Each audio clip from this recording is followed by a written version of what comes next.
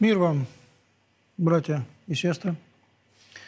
Память Афанасия и Кирилла, патриархов Александрийских сегодня. Э, Афанасия назвали еще при жизни, кажется, 13-й апостол. Это был человек совершенно выдающийся. Один, по-моему, из первых епископов, которых был канонизирован, не будучи замученным, умерший своей смертью.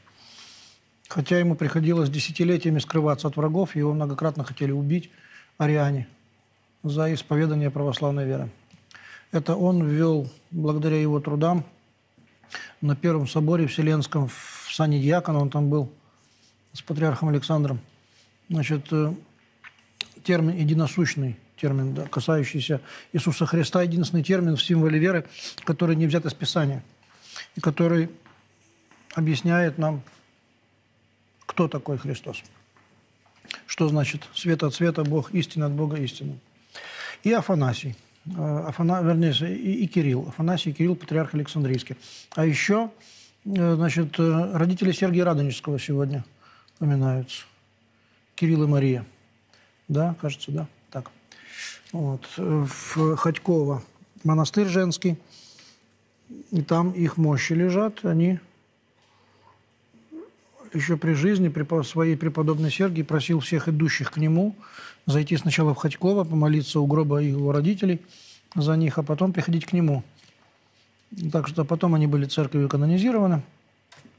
Так что э, почитание этих людей может сделать нас как-то милыми в глазах великого Сергия, который является духовным отцом русского народа. Ну ладно, это, так, это в виде преамбулы. Ну а вопросов довольно уже много. Их не так много, но они такие пространные, там есть такие вопросы. Я просмотрел только что. Вот э, пишет, значит, женщина э, Елена, интересно, а Господь Иисус Христос что-то писал? Почему Он не записывал проповеди, чтобы они остались на века, а предпочел, чтобы апостолы написали Евангелие? Как вы думаете? Да, Господь Иисус Христос – это э, деятель устного жанра. То есть Он говорит, не пишет. И апостолы, кстати говоря, э, главным образом деятели э, речевые, а не письменные. Что апостолов-то много, да? А из них только четыре э, написали, то есть взяли в руки там письменные принадлежности, расстелили перед собой пергаментом, начали записывать. Остальные все говорили – это характерная черта э, вот этой библейской истины. Во-первых, э, христианство родилось как религия эсхатологичная, то есть ожидание второго пришествия и конца света со дня на день э, приводило к тому, что христиане не загадывали на столетия вперед.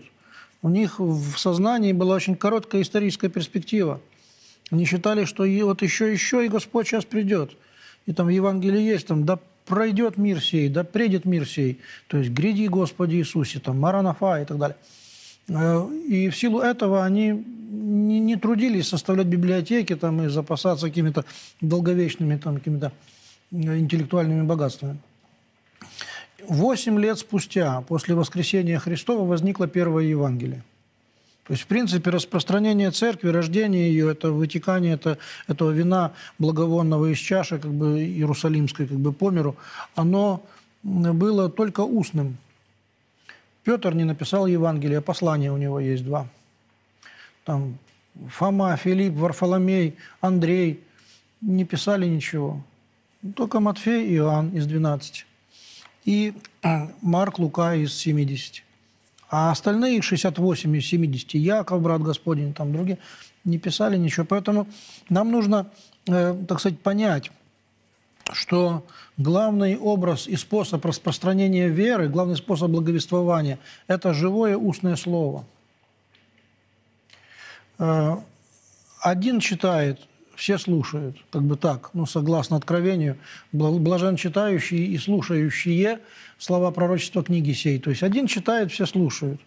Один говорит, все назидаются. Потому что это, это устное больше. Христианство вообще-то такая религия памяти, религия сердца, религия устной проповеди, религия благовестия. больше, нежели книжничество. Когда на Иисуса смотрели, говорит, что у него какая-то есть такая власть больше, чем у книжников и фарисеев. Он с властью что делает такое, вот не так, как они. Они вот там, а где написано, а как сказано, там вот что-то. Вот. И мы сейчас тоже так уже делаем, да, такое уже потихонечку. Вот, уже давно так делают христиане.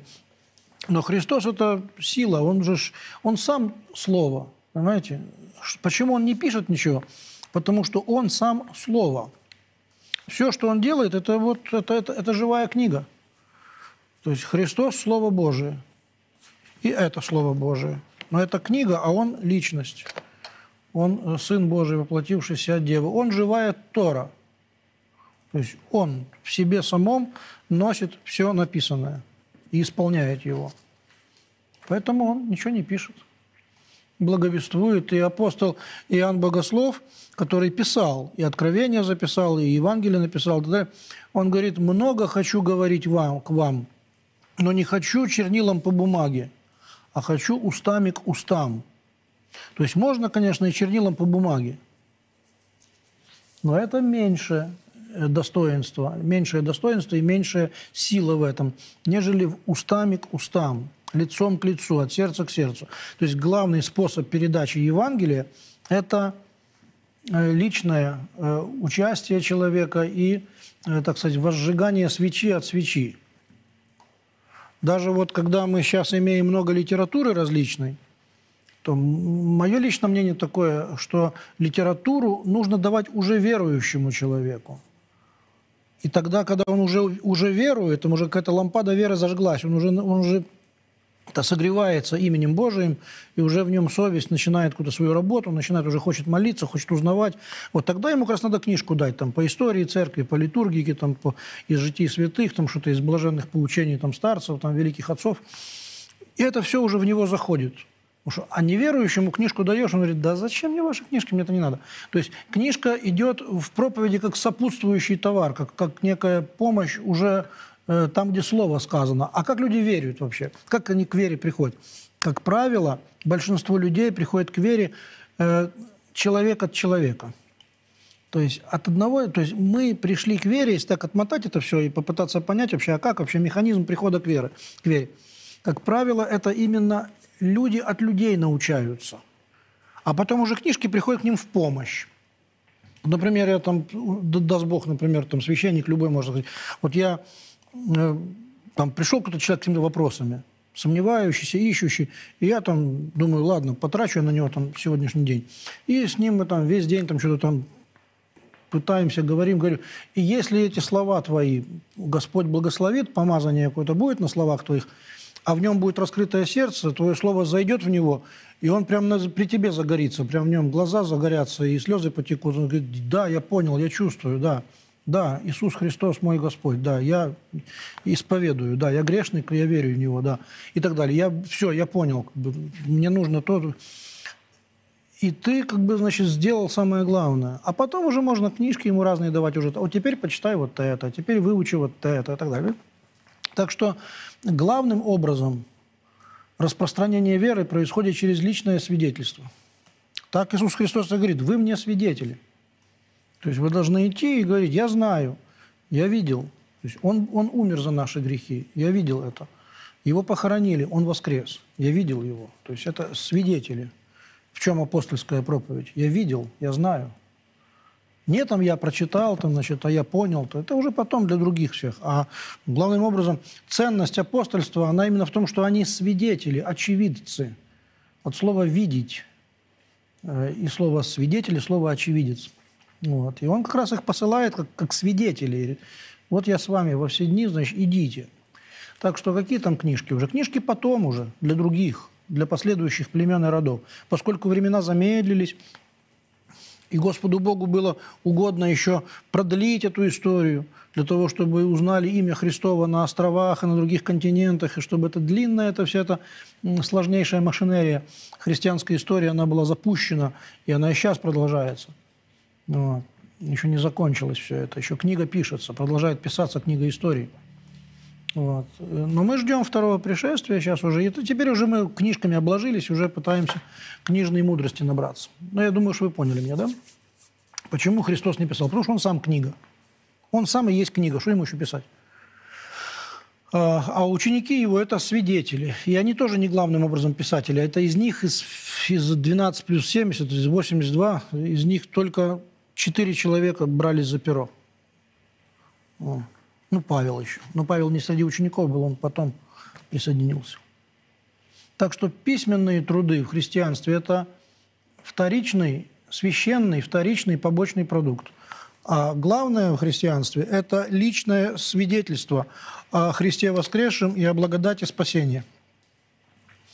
Так сохраняется до сегодняшнего дня.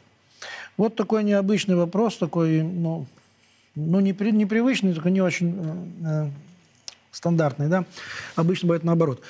Э, раб Божий Виктор говорит, что вот развод, у него вопрос развода там поднимается, до жены у него не доходит, что пить, курить и материться – это плохо. Я говорю ей, занимайся этим без меня. Там, гости, дискотеки, хотя это не часто. Она говорит, нет, ты будешь со мной, ты мой муж, ты обязан. А ломать и менять себя, говорит, я не буду. Если нет, то развод. Я устал. Все одно и то же кучу лет. Дайте, говорит, совет. Чувствую себя предателем. Ну, почему нестандартная ситуация? Потому что обычно все наоборот. Когда женщины там рвут на себе значит, химическую завивку и кричат о том, что там муж пьет, курит и матерится, и ему уже это все достало, как бы, значит, дом табаком пропах, там, значит, э, мать-перемать там в воздухе висит – пьяные, там, денег домой не приносят, там, дети нервные, жена злая. А здесь, видите, феминизм, вот слава феминизму, значит, освободили женщину, расковали женщину Востока, сняли с нее паранжу. Она теперь как бы у нее выросли сразу рожки до ножки. Мужик жалуется, что жена его любит пить, курить и материться. Он говорит, перестань, она говорит, не буду. Слышали вообще такое? Вообще такое слышали? Такое? Не, «Вонми небо и возглаголю». То есть слушай небо и дрожи. Земля, слушай глаголы уст моих. То есть мир сошел с ума. Вообще такой проблемы, по-моему, не бывало никогда в таком виде, в таком заостренном виде. Но если бы жили во времена домостроя, там было бы все понятно, вы даже этих писем не писали. Не хочешь себя ломать, я тебе помогу. Ну, как бы было бы так. Она должна себя поломать. Ваша э, прокуренная спутница жизни должна себя поломать.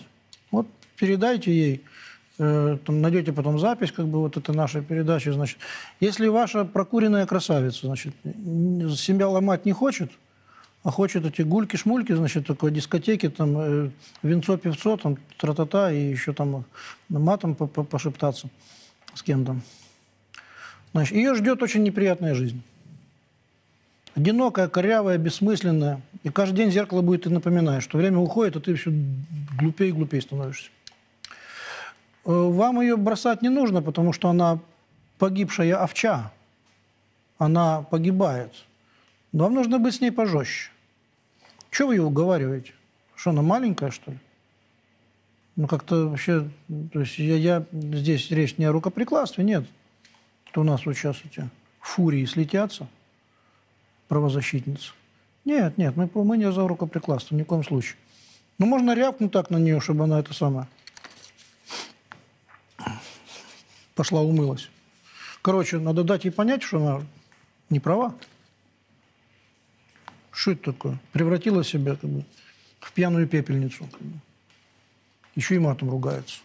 А муж ей говорит, нельзя. А она говорит, не хочу себя ломать.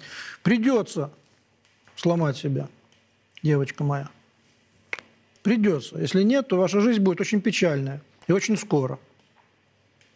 Муж не должен вас бросать, и вы не должны, да, но... А вдруг у вас терпение лопнет с этой фокусницей жить? Кто вас тогда удержит? Никто. Вдруг вы скажет, да иди ты, как бы хлопнет дверью и уйдете.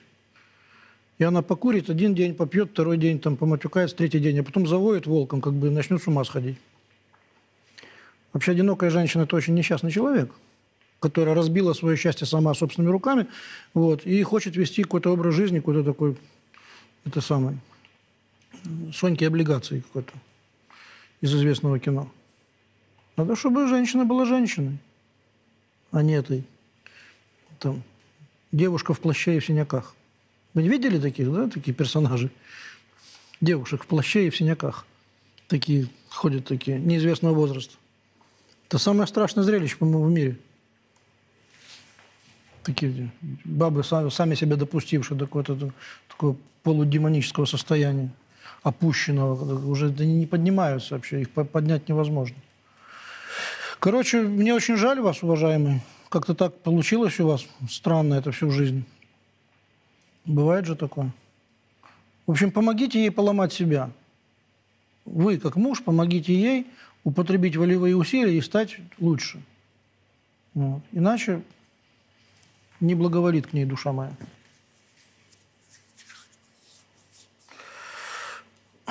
Большего посоветовать не могу. Простите.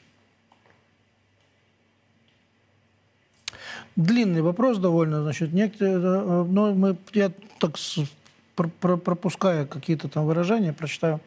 Дмитрий пишет, да.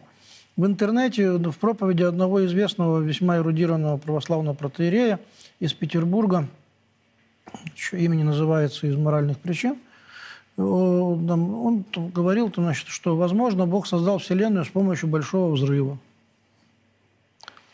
а также допустил, что, возможно, и вправду люди действительно эволюционировали от обезьян. Вот. Ну и вот человек собирается читать Ветхий Завет, новый читал неоднократно, и просит разъяснить, как относиться вот к этим всем таким вещам сложным, таким таинственным. Вот шестоднев, творение Адама и Евы, дальнейшее потомство – метафора это, миф ли это, или действительно это все имело место? Как относиться к этому? И как читать, читать Ветхий Завет, как в нем ориентироваться? Вопрос не праздный, вопрос очень серьезный. Милосердный Бог, источник смысла и разума, и радости, да поможет нам сказать нужное и не сказать лишнего. Эм, видите, накопленный массив знаний – в новое, новейшее и современное время э, вошел в противоречие с буквальным прочтением библейских текстов. Ну, с тем, как их читали привычно в течение долгих столетий. Вошел в противоречие, потому что там вот это, это, это сложность Вселенной, в которой проник человек, она э, раздавила человека. Она лишила его простоты и внушила ему какую-то иллюзию всезнайства, что ли, такое. Ему теперь эти простые библейские тексты очень трудно сочетать как бы с этой сложной какой-то моделью, там, это, с этими квантовыми там, этими мирами, там, с, этими э, параллаксами, там, этими черными дырами там, и всеми миллиардами лет, которые, которыми так легко вращает наука. Поэтому э, перед многими людьми стоит дилемма такая, или, или проблема, не дилемма, нет, проблема, как сочетать как бы, библейское повествование, которое есть истина, с этими сложными открытиями науки, которые на нас свалились. Вот. Это ложная проблема, потому что наука, в науке нет ничего, на что можно было твердо опереться. Это постоянно разворачивающийся процесс. Вот. У нее никогда нет окончательного слова. Она сама не знает, что будет завтра. Наука.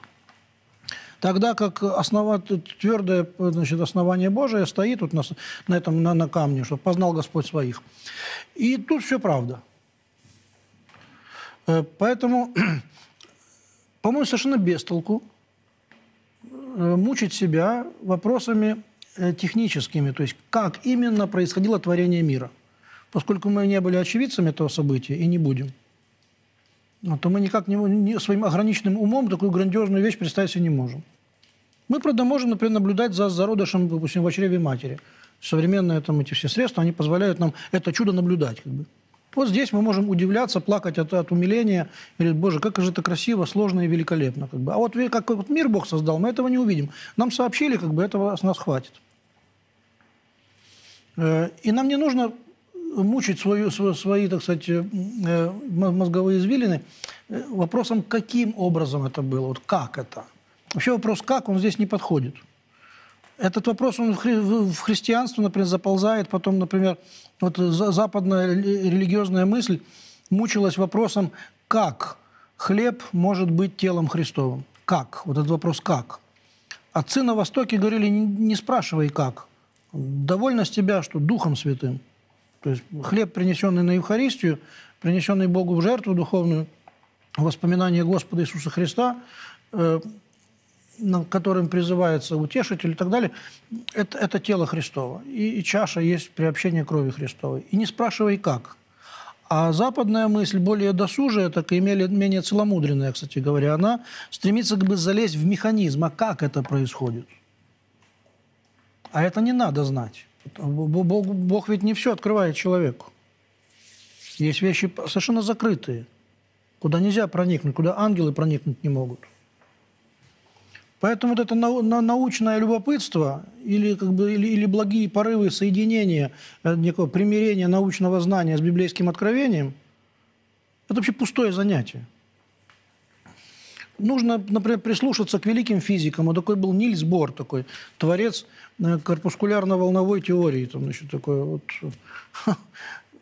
вот он совершенно несомненно верил в Господа Бога, и в шесть дней творения, там все эти вещи, как бы, значит, при том, что он там проник в тайны мира э, глубже всех там других этих всяких физиков. У него висела, такой интересный случай рассказывали, у него висела подкова на стене. К нему пришел какой-то товарищ, говорит, слушай, зачем тебе подкова висит? Говорит, это же чепуха, это же какой-то предрассудок. Ты же физик, ты такой умный, там то-то-то. Он говорит, ну да. Говорит, а что в это веришь? Он говорит, не, я не верю. Говорит, я же физик, я же такой умный. Как я могу в это верить? Так зачем у тебя висит подкова? Говорит, она висит потому, что она объективно работает, независимо от того, веришь ты или не веришь. Он пошутил, конечно, но вот это все как бы объективно, да, Библия права. А если я этого не понимаю, как бы, то, то ничего страшного, как бы мой ограниченный ум и не обязан понимать э, вещи, которые превосходят способности моего ума. Вот и все. Вот для меня это совершенно и все. Теперь смотрите, интересная вещь. С какой книги начинали читать Библию евреи, у которых она была у первых? Вот они первые взяли ее в руки, ну, ту, ту половину без Нового Завета.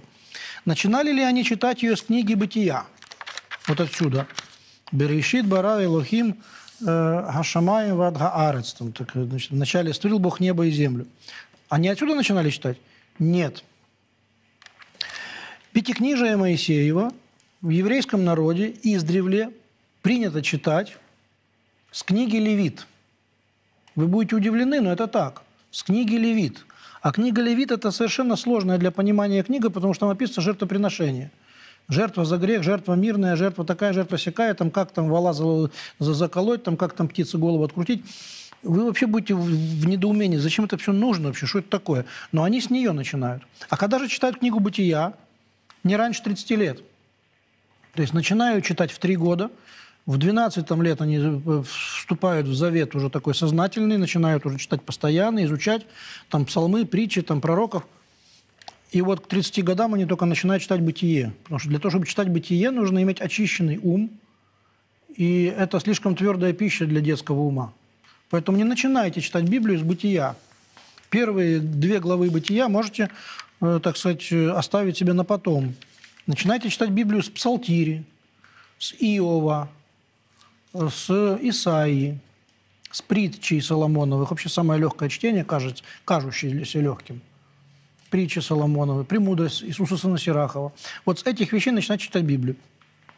А вот такие, например, вещи, как «Песнь песней», э, «Пророк Иезекииль» и первые главы «Бытия» читаются только по достижению духовной зрелости. И вообще, я думаю, Вообще, значит, здесь вот это первые главы книги «Бытия» – это ведь не э, Ветхий Завет в точном смысле слова. Потому что Ветхий – это то, что устарело. Как бы. Э, вот этот рассказ библейского повествователя Моисея о сотворении мира и человека в мире – это не Ветхий Завет, это Вечный Завет. Он не потеряет своей актуальности до самого страшного суда, до окончания времени, до вхождения спасенных в небесный Иерусалим. Не потеряет актуальности. Поэтому это не ветхое. Вот книга Левит в каком-то смысле это Ветхий Завет, да. Потому что это больше не приносится. Это и у евреев этого нет, ибо храма нет. А вот там уже второзаконие, числа, там, э, исход. Но это тоже не совсем ветхий, там, там про Христа все. Там пророчество о Христе. Вот исход, например, можно читать. С исхода можно начинать чтение э, Библии. Так что это не Ветхий Завет, это, это Вечный Завет. Он требует некой подготовки для того, чтобы войти во святилище этих божественных мыслей. Э, что еще вам скажу? что вот евреи, вот эти самые евреи, благословенные, тут Израиль, евреи, евреи, кругом одни евреи, значит, они нам очень нужны. Зачем, вы спросите? А затем, что они же неистребимые, не исчезающие никуда. Когда говорят, а почему чудес нет? Ну как же нет? А вот евреи. А что евреи? Они до сих пор есть. Вот итальянцы, например, и римляне – это совершенно два разных явления. Вот римляне при, при Юлии Цезаре, итальянцы там при Берлусконе – это совершенно два разных типа людей. А евреи, допустим, там при Моисее, там, или евреи при Самуиле, там, или евреи при э, Языкии, или евреи при Иисусе Христе, или евреи сегодня, да, одни и те же евреи. Они, они нерастворимы. То есть мир их не растворяет, они не, не растворяются они сохраняются. Вот русские, например, со времен, скажем, там, князя Владимира или со времен Ивана Грозного, особенно вот в последние столетия, благодаря советизму, они сильно изменились. И уже, наверное, мы бы не узнали в русском русского, там, а он бы в нас русского не узнал бы, там, если бы мы повстречались там, с человеком там, 17-18 века. А евреи – это те же самые евреи. Они, это чудо, на самом деле. Так вот, они на голубом глазу, совершенно на полном серьезе – считают, э, что от сотворения мира прошло там 6, там сколько-то там тысяч лет, там скоро будет 7, все. вот. Или, вернее, там 7 тысяч лет, там, ну, простите, я здесь могу сбиться там в точных цифрах. Это тоже нетрудно проверить, это все, в общем-то, э, дневниковые данные. Зайти там, какой там сегодня год по еврейскому календарю, и там вам покажет. Там. Они, они, они вообще э, имели в виду всю эту археологию с геологией, эти миллиарды, триллиарды, секстильярды, как бы это до лампочки. У них от сотворения мира прошло вот столько-то тысяч лет, и не больше. И сотворил Бог мир в шесть дней. И не, не в семь, и не в два, и не в восемь миллионов лет. И они в это верят, они задержатся. При том всем, что количество физиков, астрофизиков, биофизиков, биохимиков среди евреев, ну, ученый мир, состоит из них там на добрую треть или четверть. Это не мешает им держаться за священные слова Библии, зная, что именно в них, при всей их простоте, иногда даже наивности какой-то кажущейся, при всей этой такой, значит, вот, ну, как мифологическое повествование такое, да, может кому-то показаться. На самом деле это и есть истина, да. А если наука в чем-то не согласна, то это проблема науки, это не проблема Библии. Ну как вот вы можете верить то, что там кит проглотил человека, человек три дня был в чреве кита? Вы спросили Филарета Московского. Он говорит, да если бы в Библии было написано, что человек кита проглотил, и кит был в чреве человечем три дня, я бы и в это верил тоже. Это истина, а не это. Вот с этим, э, вот, вот пусть они и переживают, а не, а не мы. И с обезьянами теми же. Ну, отец Александр Мень, покойный, Царство Небесное, вот он как бы тревожился на эту тему, там тоже он считал, что вот вполне возможно, Господь Бог создал там какую-то там бибизяну, а потом с бибизяны там, ну, что там развивалось такое. Слушайте, э, зачем вы мучите себе голову? Тем, чем мучить ее не надо. Вот. Имейте чистую совесть и веру Божию, познавайте Бога в молитве, познавайте правду и это, живых слов, правду живых слов, священных текстов. У вас не будет никакого внутреннего барьера и противоречия. В библейском повествовании и в евангельском повествовании они же зеркально отображают друг друга. Если ты усомнишься в Ветхом Завете, ты поколебаешься в Новом.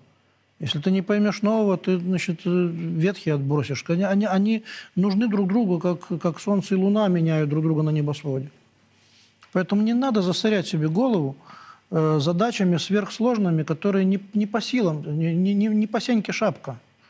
Соединить там как бы откровения современной науки там, со всеми их там теоретическими выкладками, там, какие-то басни про динозавров там, или там, по, по, там с динозаврами тоже не все ясно, они, про них в Библии тоже довольно много написано.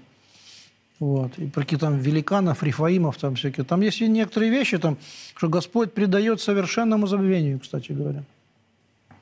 То есть целые геологические эпохи могут быть преданы просто забвению. Говорит, Господи, Ты стер напрочь память о них, там Исаия пишет. Поэтому меня, мое сердце вообще не дергается от этого. Потому что я вижу этих ученых, Смотрю им в глаза, слушаю, что они там рассказывают с умным видом. Потом я понимаю, что с ними будет. Вот. Что с нами вообще всеми будет. Что у нас как бы, что мы пляшем на краю могилы, не замечая этого. А потом я смотрю на Серафима Саровского и понимаю, кто прав. Какой-то академик Российской Академии Наук или преподобный старец из Саровского леса? Я понимаю, что прав старец из Саровского леса, который ни йота не сомневался во всем этом. А эти все наводители тени на плетени, как бы они э, весьма успешны в тактических вещах. Например, самолетик сделать, чтобы он летал и не падал. Спасибо за это, это хорошо. А вот построить модель Вселенной и объяснить, как это и почему это, это не дело мозгов человеческих. В этом смысле любая космогоническая, теогоническая теория какого-нибудь язычника, это шумеро-акадской какой-нибудь цивилизации там, или какой-нибудь там микено-критской, она гораздо ближе к истине, чем современное это басурманство научное, холодное научное басурманство. И греки, и евреи, вся древность, вся античность, и вавилоняне, они были в космогонии, вот этом, в чувстве Вселенной, они были, и египтяне, безусловно, они были гораздо ближе к правде Божией, нежели современная бусурманская наука, которая пыжится создать научную модель Вселенной. Да оставьте вы, с собой разберитесь сначала. Поймите, откуда вы и куда идете. Так что читайте, я вам сказал, уважаемый Дмитрий, с чего читать это все. А как бы, ну, наш, наш брат поп, как бы у него как только чуть-чуть больше образования будет, так он сразу захочет за, позаигрывать, так поперемигиваться, значит, там, с философией, с политологией, там, с, с современной наукой, с астрономией, с геологией, дескать, а мы тоже не лыком шиты, мы, мол, знаем. И начинают там фантазировать, как бы, значит, такое, дескать. А это совершенно бесполезное занятие, пустое душе ничего не дающее, вносящее смуту в голову и разрушающее правильную модель Вселенной, которая есть у нас в голове благодаря вот этой святой книге. Так что исследуйте Писание. И в них главное – это личность Иисуса Христа, который вообще не дал нам возможности сомневаться в правдивости библейского повествования, потому что он сам говорит, сотворивший мужчину и женщину, значит, вначале сотворивший человека – мужчину и женщину вначале сотворил их. То есть он совершенно как бы прямо цитирует, подтверждает все библейское повествование. Господь наш, воскресший из мертвых, Иисус Христос. Ему слава и держава. На нем мы стоим. Мы стоим на нем, а не на каких-нибудь докладах, произнесенных в астрономическом обществе. Вот. Так что на евреев смотрите вот в этом вопросе. И если они спокойны в этом отношении, и вы будете спокойны. Вот, я себе, для меня это вообще просто очевиднейшая вещь. Тут надо верить, как они. Потому что здесь они правы. Э, так, Кесарю Кесарева пишет. Да, ну да, Кесарю Кесарева. А если прикажут убить всех младенцев? А если Кесарь объявит безбожие, станет преследовать верующих? Где грань, когда надо смиренно отдавать кесарево, а когда начинать сопротивление во имя спасения душ? Может быть, я неправильно понимаю смысл этой фразы. Поясните, пожалуйста, что не так. Спасибо, Максим. Ну, вы, конечно, Максим, э, правильно понимаете все, но несколько гиперболизируете это все, усиливаете до бесконечности. А вот если там, значит, э, кесарь там прикажет там, убивать младенцев. Там вообще, в, где говорится про кесарю кесарева, там про деньги говорится в основном. Там дайте мне цату, там эту златницу, там чей образ надписания, там про денежку говорится. Нужно подать, платить или не надо? Потому что именно в контексте истории э, еврейского народа, например, зелоты, так называемые ревнители, они говорили, никаких подати язычникам. Никаких. Как это мы деньги будем дать язычникам? Подать только на храм а царь только Яхве. И больше никто. Какой там кесарь еще царь? Нет такого царя у нас. У нас царь вот, живущий на небесах, это наш царь. А подать наши только на храм. Они за это готовы зарезать любого, кто не согласен с ними. Поэтому они спросили, кесарю давать денежку или не давать. Он про деньги и про налоги говорил. И Господь говорит, да давайте вы кесарь, там же, там же кесарь нарисован, кесарю давайте. А вы сразу, понимаешь, там всех поубиваете, там что-то там такое. Ну да, бывают кесари, ну типа там был у нас такой кесарь Ленин, который земля не принимает до сегодняшнего дня. Ну вот, потом был кесарь, кто там, Сталин, вот, который там давал разные басурманские приказания. Ну и неверующие делали, верующие не делали, там, или как-то пытались уклониться, спрятаться, спрятаться, скрыться от власти. Там. В злые времена нельзя лезть на э, высокие должности если, если страна безбожна и власть безбожна, то когда ты лезешь наверх и хочешь сделать себе карьерный рост, ты неизбежно попадаешь под пресс безбожных приказов, безбожных повелений. И ты как бы, а как, а как мне поступать? А я замминистра, например, там, в какой-то отрасли, а мой министр, например, там, хочет вот, вот, это, вот это сделать. И это будет вообще полный швах там, или для там, лесного хозяйства, или для водного, там, или для пенсионного, допустим. А я уже его помощник. Мне что, с работы увольняться? Не хочу эти безбожные приказы исполнять. Вот ты будешь стать перед дилеммой. Либо исполняй, и будешь вместе с ним безбожником отвечать за это все будешь, либо уходи. Поэтому в безбожные времена лезть наверх очень, очень опасно. Лезть наверх нужно, когда все хорошо более-менее, когда у людей совесть есть, когда у людей закон Божий в голове есть. А так ты будешь перед дилеммой. Поэтому в злые безбожные времена э, все совестливые люди старались работать лифтерами, дворниками, слесарями, плотниками, там, водопроводчиками, там, значит, где-то пониже, чтобы в тебя в партию не заставляли вступать, чтобы ты там как-то заныкался, как бы так и жил себе спокойно. И чтобы не делил ответственность за все происходящее с теми, кто наверху. Вот. Так что действительно могут дать тебе приказ, там что-нибудь там злое сделать. Но для этого тебе не придут, не скажут, что тебе прям позвонят тебе прям с Кремля, там, что приказ тебе отдавать. Это нужно быть, например, в структуре спецподразделений, там, каких-нибудь там специальных государственных служб, куда-то залезть наверх там высоко, там, где э, строгая секретность у документов, там, где не разглашаются государственные тайны, как бы, и ты выполняешь какую-то ответственную работу, которая, может быть, не сочетается с заповедями Божьими. Ну, ты уже залез туда, там уже, ну, решай. Раз залез, так там, там и решай. А такой простой вот человек, ты, я, там, какой-нибудь студент, там, какой-нибудь, не знаю, фрилансер, какой-нибудь там, не знаю, там, разносчик пиццы, как бы, кто ему будет давать приказы убивать младенцев? Зачем тут э, гиперболизировать все это так, так ужасно? Здесь речь только о денежке, как бы. Надо платить или не надо? За парковку нужно платить? Нужно. Ну и плати. А за свет нужно платить? Нужно. Вот плати. А за это нужно платить? Нужно. Короче, тебя деньги забирают, кесарь. Надо платить? Надо. Смиряйся и все. Вот об этом и говорит данное Евангелие. А преступные приказы, там всякое такое, это...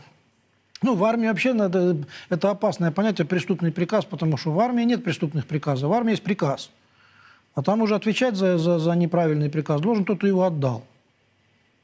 Поэтому, поэтому мы и говорим, например, что мы же не знаем имени ни одного солдата, который убивали вифлеемских младенцев. Им дали приказ, значит, вот, вот регион, в котором, возможно, находится маленький Христос, значит, вот заходите и режьте там всех подряд, там, кто сиську сосет. И ниже, до самого младенца. То есть от трех лет и ниже. Или там от двух лет и ниже. И мы не знаем ни одного солдата, который это делал по имени. То есть его не заклеймила история, как, как, как злодея, как, как негодяя. А Ирода заклеймил. То есть Ирод, виновник этого всего. То есть он дал приказ. Приказ, там, скажем, преступный. Но солдат, ну что солдат? Солдат. Это такое дело. Так что не залазьте туда, куда вас, как бы, значит, вас, пока никто не тянет вас туда, в, эти, в эту глубину. Вот. Жизнь наша простая, и от нас никто ничего преступного не требует, слава Богу. Если потребует, тогда надо будет решать. Скажи, подпишите вот эту кляузу, для того, чтобы мы осудили вот этого человека, там, или выгнали его с работы. И вот перед вами дилемма. Как бы. Или мы выгоним вас с работы или поменяем вас местами. Вот будет дилемма. Там или еще что-нибудь такое. То есть такие нравственные выборы у человека возникают. Вот. Но не часто, кстати, должен вам сказать. В данном случае будем спокойно думать о том, что конкретно этот вопрос был посвящен налоговой системе. Надо платить кесарю, а Богу отдать все остальное. Да неоднократно слышал от своих знакомых, что когда они не молятся постоянно и редко ходят в храм, в жизни их все нормально. Как только начинают это делать чаще, возникает множество проблем. И у меня так было после поездки к Матроне Московской. Очень долго все в жизни шло кувырком, хотя и просила, и молилась только о хорошем. Как вы думаете, в чем причина такого? Алла пишет, да. Э, ну, я думаю, что вы и сами понимаете это. Это же ведь от противного, да, как бы понимается. Ну, живешь себе, ничего. Это, это, если хотите, мощнейшее доказательство реальности духовного мира и действенности всех движений наших в духовном мире. У вас, по крайней мере, не должно оставаться сомнений, что там вот я там что-то читаю, там говорю, там какие-то молитвы произношу, непонятно, кому я их произношу, там, слышит ли меня кто-то или... Вот, пожалуйста. Прочитал, понимаешь, и началось. Э, со, со всех боков на тебя посыпало, со всех сторон. Ну, что вам здесь сказать? Э, дело, на самом деле, довольно легко объяснимое. Лукавый, да хранит Господь всех верующих от Него, имеет реальную власть, которая заключается в нашей суете, маловерии и множестве грехов, не раскаянных и не омытых, покаянием, слезами, милостынями. Благодаря этой грязи нашей, суетности и грязи, и глупости, лукавый оплетает нас какими-то такими сложными сетями, как Антоний Великий видел в видении. Так что и шагу не ступишь, чтобы не потянуть за какую-то ниточку этих предательских сетей. И он на каком-то этапе, значит, он, он и так-то гордый. А здесь он еще гордится без меры тем, что он почти всем миром командует, как кукловод. Кукол, помните, там э, пел там один наш. Кукол дергают за нитки, на, на, на лице у них улыбки там, и что-то там такое. А в процессе представления создается впечатление, что куклы могут сами говорить, в общем, там про кукол разных там. Ну, вот, кукол там снимут там, там, с палки длинной, посыпав нафталином, там, в виде тряпок сложат в сундуках. То есть лукавый кукловод. Он кукловодит как бы миром, там, этими всякими там, особенно теми, кто деньги любит, власть любит. Там вообще, там его, его грязная среда. То есть он там большая шахматная доска. У него возникает мысль на каком-то этапе, что вообще весь мир его слушается. Весь мир. И вдруг в каком в этом, в этом мире, который казалось бы, уже в общем, весь оплетен его сетями и управляем ими, этими сетями, его рукой. Как он, наглец, говорил Христу. Вот все богатства мира, все поклонись мне, я тебе все дам. Все дам, только поклонись мне. Но люди же кланяются. Это Христос не кланялся, а люди-то кланяются. И вот представьте себе, какой-то человек, уже находящийся как бы вот в порабощении у лукавого, ну, в руках у него вдруг начинает дергаться, трепыхаться, ты начинаешь там молиться, там, «Отче наш» читать, там, там Евангелие святое читать, там, вдруг там, вот скоро будет Великий пост, он говорит, начну-ка я поститься, поститься буду. Вот. Или там, пойду-ка я на исповедь, там, или ну-ка там, что еще там, допустим, ну-ка дай-ка я квартиру освещу. Или там пойду там, возьму святой водички, там буду по, по, по утрам натощак пить с молитвой. Ну и так далее. И он как бы думает, ничего себе, что ты, ты рыпаешься? Ты мой, ты мой. Он как бы, ну, этот диалог не слышен в воздухе, но он происходит. Как бы он говорит, я тебе сейчас дам. Тоже мне тут захотел поисповедоваться, как бы. Пошел он, понимаешь, причащаться. Я тебе сейчас причащусь. И начинает как бы сыпать на человека там. Справа, слева на него там на работе, в семье там какие-то там сложности всякие насыпает. Напоминает ему прежние грехи, там дергает его за все возможные там всякие э, внутренние зависимости – ну и воюет с ним, не дает ему вырваться. Потом человек говорит, ой, слушай, с этим Богом так все тяжело, ладно, не буду ничего делать, как бы сел спокойно. Говорит, ладно, все, успокоил. Все, сиди, сиди на месте, Вася, и не дергайся. Начнешь дергаться, я тебе сделаю проблему. Ну, вот, понимаете, это же элементарно вообще. Как вам, как вам это еще объяснять? Что еще нужно объяснять? Значит, надо вырваться из этих сетей, надо выйти в, в состояние свободы детей Божиих. А вот эти вот там чуть-чуть помолюсь, как бы там, потом не буду молиться полгода, потом опять чуть-чуть помолюсь. Ну ладно, схожу разочек в, церкв, в церквочку, там постою там полчасечка. Вот, а потом, ну там как-то так, вот так вот, шаг вперед, два назад, там три прыжка на месте. Как бы. В таком режиме как бы нет никакого смысла вообще в этом всем. Надо на самом деле покаянием порвать эти сети или цепи, если хотите. Э, Бог дает силу, как Самсону рвать на себе, значит, путы человеку кающемуся, эти зависимости всякие там греховные там, и так далее, и так далее. Самые разные.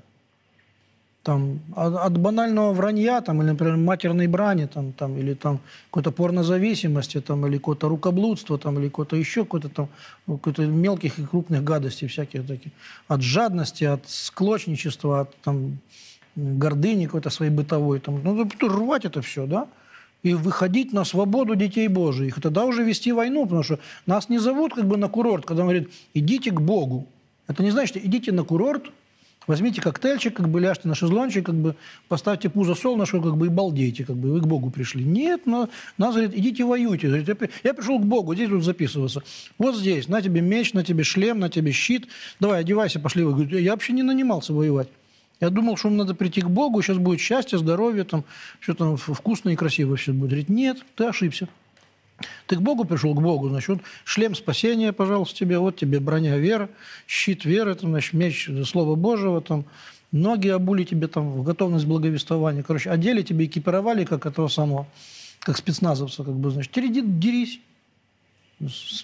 со, всем, со всяким злом духовным. Вот, поэтому что тут удивляться? Если человек весь находится в суете и в грехе, порабощен э, тысячами невидимых нитей, не нужно иметь большие грехи.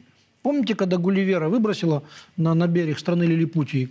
Эти лилипутики, значит, его связали миллионами маленьких веревочек. За волосы, там, за пальцы, там они там... Они же маленькие были лилипутики по сравнению с ним. Но веревочек этих они оплели миллионы, прям-то заплели его всего там за одежду, все. И он, когда хотел подняться, как бы он не мог, потому что они реально его стреножили. Маленькими лилипутскими своими ниточками, как бы. Вот так и люди, как бы, они связаны по рукам и ногам, грехом, нераскаянностью. А потом он захочет там немножко там попищать в сторону неба, там, Господи, Господи, услыши меня, Господи, такое. Ну, он раздражает дьявола таким образом. Лукавый молчать. Что ты тут вякаешь? Ты и так мой. Заткнись. А начнешь там вылазить, как бы я тебе дам.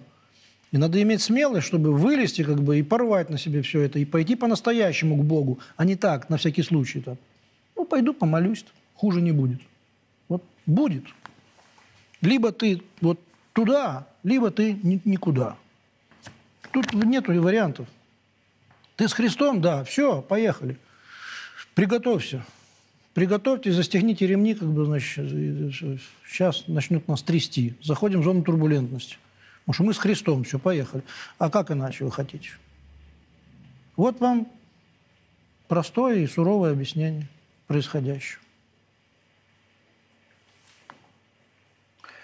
Как убедительно и лаконично объяснить человеку необходимость причащения? Да. Необходимость причащения объясните человеку так. Возьмите шестую главу Евангелия от Иоанна э, и читайте. Например, стиха с шестую главу Евангелия от Иоанна. И читайте, ну, примерно, например, стиха с 27 или с 30. Старайтесь не о пище тленной, но о пище, пребывающей в жизнь вечную, которую даст вам Сын Человеческий, ибо на нем положил печать свою Отец Бог.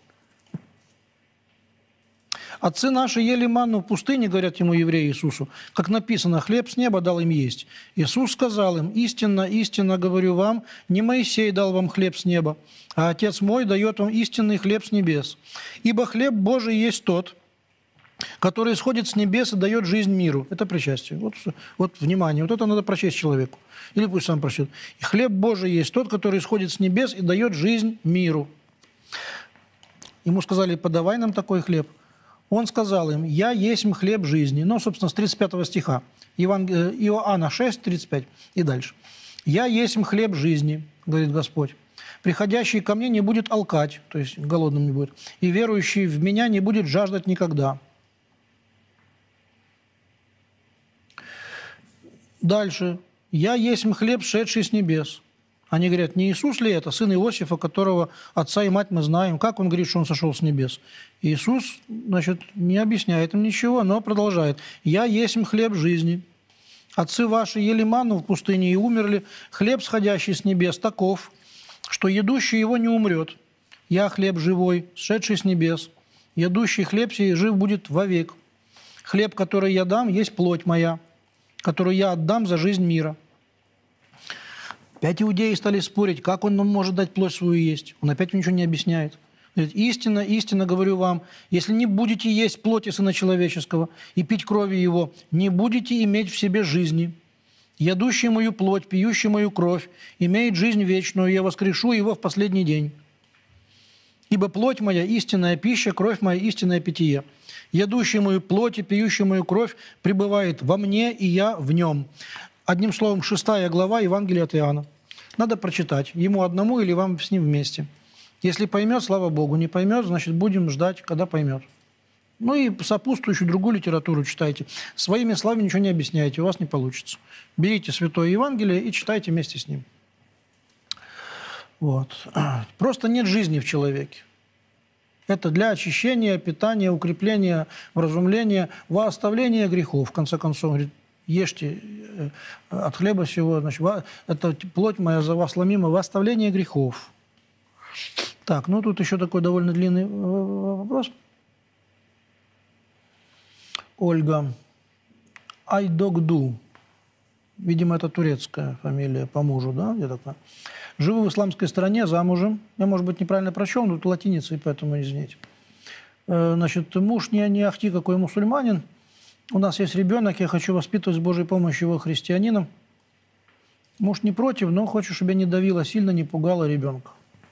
Но вообще христианство не пугает никого. Зачем пугать? Если христианство пугает, то ислам тоже пугает, потому что ну, там же есть там, джинны, демоны, там, грех, ад, рай, там, это все есть. Но это же не надо сразу все рассказывать ребенку. Стараюсь читать каждодневные молитвы за ребенка и за семью. У меня возникает страх, чувство ревности, чтобы его не настраивали к религиозным навыкам здесь, родные мужа. Храмовых служб здесь очень мало. Да, как мне строить жизнь с мужем, который вырос в другой среде религии, как воспитывать ребенка, чтобы привести их к вере. Но я подозреваю, что вы живете таки в Турции. Хотя, если я ошибаюсь, простите меня. Ну, э, и там какое-то присутствие христианства есть. Но, конечно, это исламская страна, хотя более-менее светская. Не такая, там, скажем, как Саудовская Аравия. Поэтому что здесь вам сказать? Но ну, вы уже вошли в эту жизнь, как бы, поэтому вам нужно иметь два знания. Вам надо хорошо знать христианскую веру, то есть читайте Слово Божие постоянно, упражняйтесь в евангельском чтении и в молитве домашней, как когда можете. И вам нужно хорошо теперь знать еще и ислам. Надо знать исламские обычаи и праздники, потому что в той части, в которой они не противоречат Евангелию, они вообще безгрешные. Там, если вам скажут, что Бог мир сотворил, то если дедушка и бабушка скажут вашему ребенку, сынок, там, Бог мир сотворил, ну что тут, что тут спорить? Правильно. Аминь, Бог мир сотворил. Или там скажут, там, надо уважать старших. Ну, правильно, хорошо. Там, так, так Бог сказал. Значит, там, там, надо, то есть там не все плохо, там, там, там очень много хорошего. Поэтому вам надо будет знать и то, и то. Ну и раз уж вы там живете, то надо им, ума у Господа вы прав. Как вам все вести? Мужа нужно ну, слушаться, любить, быть ему верной женой. Вот. А все остальное вы спрашиваете у Господа в молитве. То есть вам, вам больше ничем не посоветую. Молитва – это ваш компас земной, а удача – награда за смелость. Вот. И молитва довольно одной, чтобы только о Доме Небесном в нем пелось. То есть выучите наизусть там и Отче наш, и Богородицу. Если есть возможность в храм прийти, ходите. Там есть такая возможность. Не везде, но есть. Так что будьте терпеливая, спокойная и умная. Умная, работящая, внимательная, не болтливая женщина. Любите родителей своего мужа, уважайте их оказывайте им достойное почтение, любите супруга своего и живите с крестным знамением в тайне от всех. Потому что на, на людях этого делать не всегда удобно, не всегда хорошо. Э, с молитвой за ребенка там, и так далее. То есть здесь нужно быть очень умным человеком, чтобы все правильно сделать. Дай Бог вам ума. Можно ли крестить квартиру? Наверное, освещать, что значит крестить. Крестить можно только человека. Крестить – это значит погрузить. То есть вы по, по, квартиру погружать никуда мы не, не можем. И машину нельзя крестить. Надо только осветить машину. Поэтому можно ли, я, я так понимаю ваш вопрос, можно ли осветить квартиру? Заберем слово «крестить». Муж против считает, что не по-христиански. Нет, жилище освещается. Почему нет? Это как раз по-христиански. Освещению поддается все, к чему соприк... с чем соприкасается человек. Для этого не нужно обязательно священника звать. Возьмите в храме воды крещенской, иорданской, Э, найдите в молитвословии для мирян молитву на освящение всякой вещи там, или еще какой-то. Или если это касается жилища вашего, то почитайте Псалом 90 и «Живы в помощи Вышнего». А потом псалом сотый. «Милость и суд воспою тебе, Господи». Запомните, псалом 90 псалом сотый. Вот это прямо из Библии, там или из псалтиря отдельно взят. Вот. И потом этой водичкой, там, крапильца какой-то себе купите или сделайте. Во имя Отца и Сына и Святого Духа вот пройдите по всему дому. Да. А потом еще можете прочесть из Евангелия 93 зачало Евангелия от Луки. Христос в Ерехоне в доме Закхея. Вот. Сейчас вам даже главу попытаюсь подсказать. Что вы, значит, Псалом 90 и Псалом 100. Да. Глава 19, 10 стихов Евангелия от Луки, глава 19. И святая вода и крещенская с молитвой «Тропарь кресту, спаси Господи, люди твои». А можно пройтись по дому и покропить его водички. Вам для этого не, не, не всегда нужно даже и священника звать. В крещенские праздники это может каждый делать дома. Это все хорошо, здесь ничего, ничего плохого. Два вопроса. Почему до, после причастия всегда искушение? Или это индивидуально и не у всех так? И второе, да, готовиться страшно. Да. Второе, как можно го- готовить к причастию восьмилетнего ребенка, чтобы не отбить охоту посещать храм с долгими службами. ну, искушения э, до и после бывают э, у людей, которые причащаются редко. Вот когда человек ну, причащает, скажем, там раз в три месяца, раз в полгода, э, то он тогда отслеживает, замечает, да, что вот начинает готовиться, он там за три дня до этого там это все как-то превращается в такое целое такое грандиозное большое событие такое духовное. И на, на, на стадии подготовки там возникают сложности, и потом причаститься, и после причастия возникают сложности. Вообще-то, конечно, это хлеб насущный, и причащаться нужно чаще. Если вы будете причащаться раз в месяц, раз в три недели, эти искушения будут отходить от вас, от, от, отсыхать, как бы как, как некая короста, отваливаться, да. Больше всего это свойственно тем, кто, кто очень долго готовится, прям, да, и потом как-то вот это все у него так долго, так длинно. Это, это должно быть несколько по-другому, мне кажется. С благоговением, со страхом Божьим, с любовью к Иисусу Христу, но чаще. И без лишних сложностей, без, без дополнительных лишних сложностей. Но об этом надо подробнее, что ли, поговорить, не знаю. Вот. Ну, в целом, лукавый, конечно, это враг любого добра. Вот. И он уже немножко отстает от тех, кто уже утвердился на пути добродетели. Он немножко отстает до времени. А те, которые так, значит, вот редко выползают из своего окопа, на тех он нападает. Так как ребенка не, не отбить охоту, надо найти литературу какую-нибудь такую э, о храме и о службе, детскую, именно детскую. Такие есть хорошие книжечки, чтобы почитать с ним. Какую-то одну-две молитвы с ним читать, не больше. И в храме, если вы с ребенком идете в храм, то там стоять в храме можно 15-20 минут, там, ну, полчаса, не более. То есть, да, здесь есть опасность не замучить, нужно понять его силы, чтобы ему было интересно, хорошо и на душу ложилось ему. То есть здесь главное не перемолиться, то есть не, не перетрудиться. Это как бы надо педагогический такт какой-то иметь, дай Бог вам помощь. В чем опасность интимной близости до брака, если люди определились, любят друг друга и хранят верность? Почему церковь считает это грехом? Ну, уже у меня времени совсем мало. Я вам скажу так.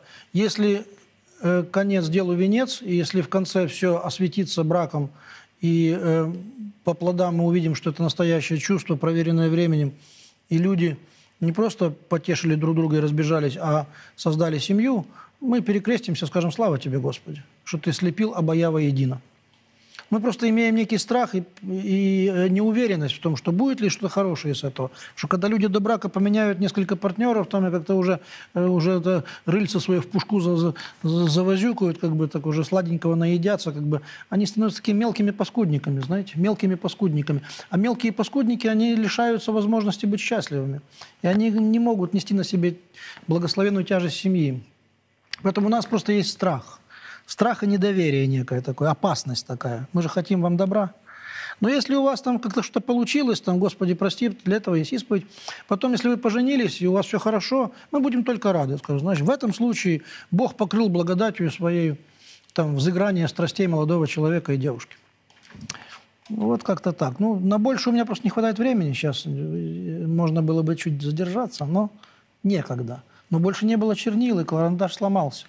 Мы выбрали наше время до капельки, дорогие братья и сестры. Христос да хранит вас. Дерзайте, стойте в вере. Аминь.